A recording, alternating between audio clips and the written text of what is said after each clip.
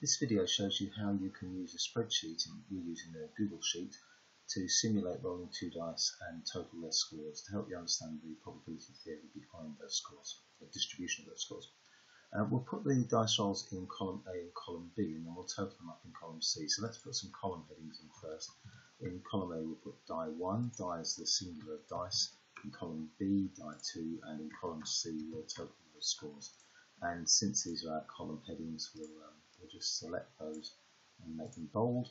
Um, and it'd be nice to have them centered, so if I select across the, the three columns, um, and then I can center those, um, there, and there we go, we've got our entire column centered. So we're going to put the dice scores in these, uh, first of all in row 2, in A and B, in total and C, and we're going to use a random function. Now to type a function into a spreadsheet, you first start by typing the equal sign, that tells your spreadsheet software that you're using the function. This works the same in Excel and other spreadsheets. Um, and then the random number function to use is called rand between. As you see, it's a random number between two values. So we'll click on that rand between. And then in brackets, we have to put the values. So it's 1, comma 6. And that will give us a random number between 1 and 6. We'll hit enter. And there you go, it gives us 5.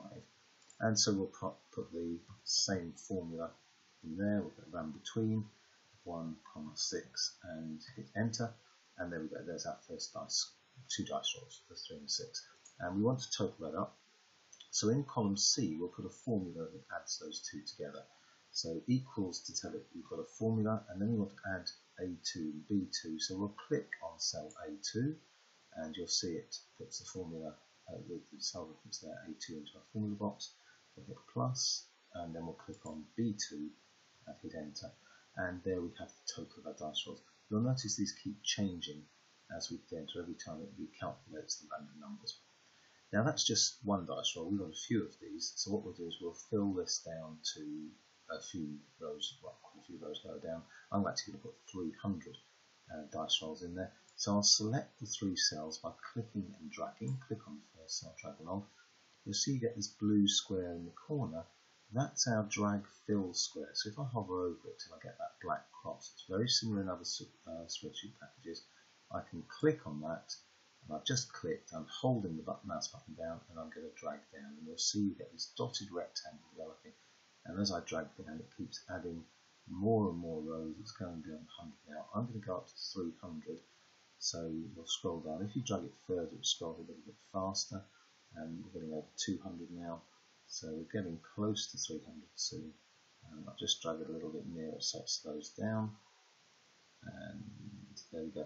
I'm actually going to go down to 301 because if you remember we've got the um, column headings in the first row. So if I copy down to 301, I'll actually get 300 results. So there you can see we're down at 301, all the way up. And we now have 300 dice scores, pseudo-random dice scores um, in column C and we can examine those in the next section.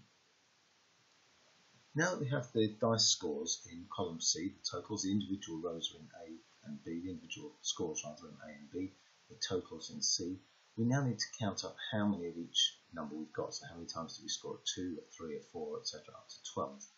It's going to be a very time consuming task to count all of those, so we're going to do that by using other built-in functions in the um, software and we're going to create a frequency table.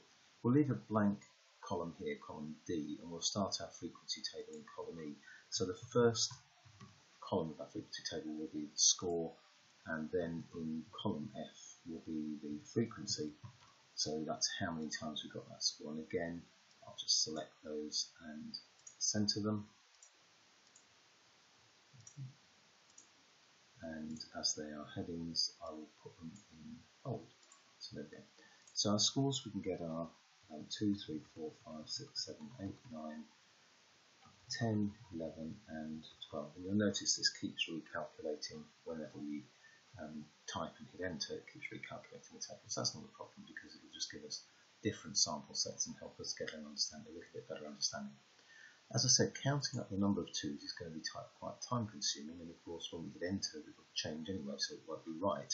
So we're going to use another built-in function. And the function we're going to use here, again we type equals to tell the software that we're going to be putting in a function and it's a function that counts things. So we'll start typing the word count Now actually what we want is count if, which counts, it's what we call a conditional count across a range. So we'll click on that and what we want is um, to count the number of twos um, in a particular range. The range we want to count is from C2 down to C301. Now it's a long way to drag down, so I'm just going to type C2 and I'm going to put dollars in front of the numbers, colon um, C dollar 301. So that's our range.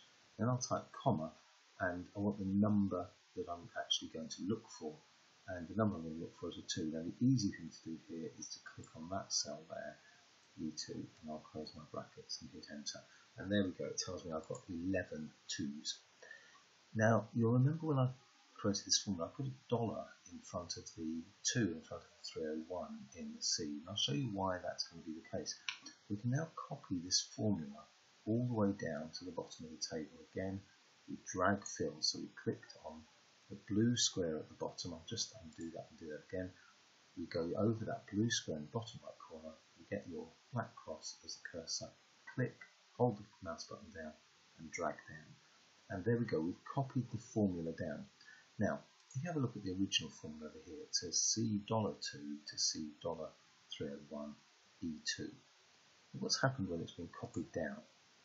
The E2 has changed to an E3, which is what we want because it's now looking for the number 3. But the C2 and the C301 haven't changed, they've stayed as they are. That's because of the dollar sign in front of them. That's what we call a fixed cell reference. It means that when we copy that, that formula by dragging or by copy and paste, those numbers stay the same. Now that dollar sign in front of them means that they stay the same. The E2 has become an E3 because we didn't put a dollar sign in front of it. And as we scroll down, you can see it becomes E4, E5, E6, and so on. So it's counting up our totals each time. Now, as a check, it's a good idea to make sure that these numbers add up to 300, which is what they should. It's a check. The computer's not likely to have made an error, but we might have made a mistake somewhere within our formula.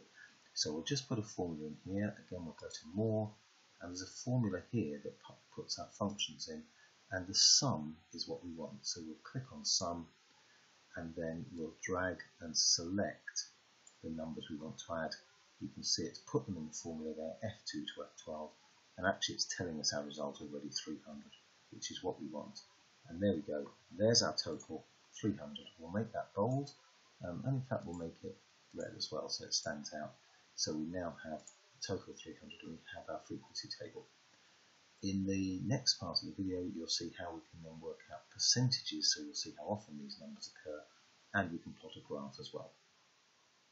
Now that we have our results in a frequency table, we're going to work out the percentage frequency, so what percentage of the times did we score at 2, 3, 4, etc. So we'll put a, another heading in here, we'll put percentage frequency in here, just to abbreviate that to freq. Um, we're going to center it again, so we'll just go and center the entire column, and uh, we want to make that bold as well, so let's click on that and make that bold. Um, now, to work out the percentage frequency, well, first of all, the fraction of 2's. The fraction of 2's, well, we scored 9 2's out of 300, so the fraction is 9 over 300. So we work that calculation out. We type equals to show that we've got a calculation coming up. Click on the 9. The divide symbol is the forward slash, and then we're going to click on the 300, the total at the bottom. Now when we copy this formula down, we obviously want the f2, the numerator part of this function, to change because we want it to change with our frequency. But we don't want the f13 to change, we want that to always be the total of 300. So to fix it again, just click in after the f and before the 13 and put a dollar sign and press enter and there's our um, relative frequency, our percentage frequency expressed in decimal form. To change that into percentage form, simply go to the toolbar, Format as percent, and click on the Format as percent.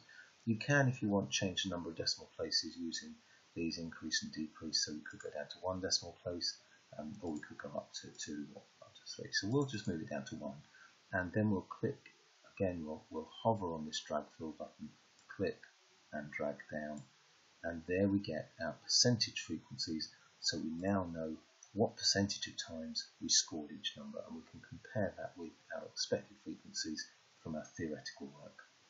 In the next section, you'll see how to graph these and we'll also deal with the issue that they keep recalculating. So we now have our dice scores in columns A and B and the total in column C. We have our frequency table in columns E and F and we have our percentage frequencies or our relative frequencies in column G. We want to graph this so we can get a visual um, idea of what's actually going on with these scores. Um, and we also want to deal with the issue that they keep recalculating every time we press enter. We're going to deal with that issue first, and we're going to put this data onto a separate sheet within the same file. If you go down to the bottom left corner, uh, you can see here a tab that says Sheet 1. I'm just going to change that to say Data, um, so that we know that that's the tab that um, has our data in it. I did that just by double clicking to um, allow me to type in there. Now I type the word Data, and then I'm going to create a new sheet. If I hover over this plus sign, it says Add Sheet. So I'm going to create a new sheet. Because it's sheet 2, so again, double click on that and I can change that to say graph. This is where we're going to put the graph and we'll come back to that in a moment. Let's go back to our data and we're going to put this data on the graph sheet. So what we'll do is we'll select everything from E1 down to G13. So click in E1 and drag down to G13. We're now going to copy that and paste it into the graph sheet. We're going to paste it, we're not going to do a basic paste, we're going to do something a little bit special to deal with the recalculating problem. So you're going to copy, you can do edit, copy, or you can do uh, control C, I'm using PC, of course on Mac it's command C. So we'll copy that onto our um, clipboard and then we'll go to the graph tab and I'll click in cell A1 but I'm not just going to do command V, I'm going to go to edit paste special and I'm going to say paste values only so that pastes our values. Now we've lost all the formatting. Uh, we can put that back in place, but the great thing about this now is that it's not recalculating. So we've put our um, frequencies back in place there, our percentages back in place. We'll click and drag so that we can center everything. Center it there, and then we'll highlight, um, to bold to highlight those, and uh, we have that highlighted as well, and there's bold. Uh, in fact, that was red, so let's change that to red. You don't need to put all these back in, and we'll, we'll actually make those bold as well, those scores. So there are our scores. And you'll see now, if we go back to the data sheet, uh, we've got seven twos, 2.3%. If we go back to the data sheet, um, it's still the same at the moment, but um, we can actually, if we just type something in here just to force it to recalculate, um, we'll delete that now. You can see it's recalculated. Uh, we now got five twos and 1.7%. Go back we've still got the old results in here. So these have been stored as data values and they're not um, updating the results. Right, we're going to graph these, uh, this data now. Now, we can actually graph the frequencies or we can graph the percentage frequencies. It's going to be a bit easier to graph the frequencies, so we'll just select those uh, two columns there, the score and frequency. We'll do insert and go down to chart and then we get a number of options of the charts and it shows us what they're going to look like as well. Uh, this one's okay, but this one actually, the column chart, I think is the nicest one, and then we'll insert that. Okay. Now, at the moment, it sits on top of that data, so if we go to the top right-hand corner here, click on the arrow, and we will move to own sheet. If you're using um, Excel, you right click, I'll just show you right click somewhere around here and you get a menu option that says move chart. We'll just go there, move to own sheet and you see it puts chart 1 in there. Now at the moment the scores aren't correct, but, um, so we'll need to change those. Uh, we can edit those and make that look a bit more presentable.